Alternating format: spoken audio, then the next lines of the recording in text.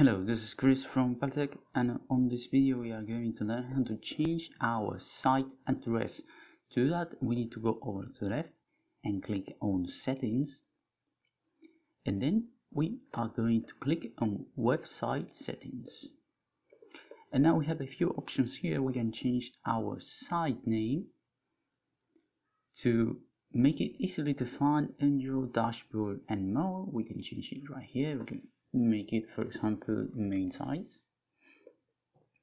this site name shows on your dashboard and my site pages is also used in search results to manage your website title for SEO.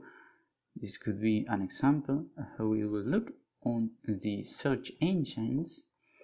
And here on site address we could add a domain to it if we had any, or we could edit the free Wix domain, which is an example like this. When this when you publish this site this will be your domain. So we can change it right here to for example main site. We need to use the lowercase. There we go main site.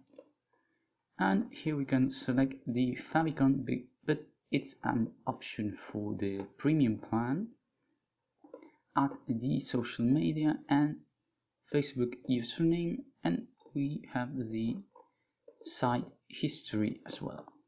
So once we have changed, we are going to click on save.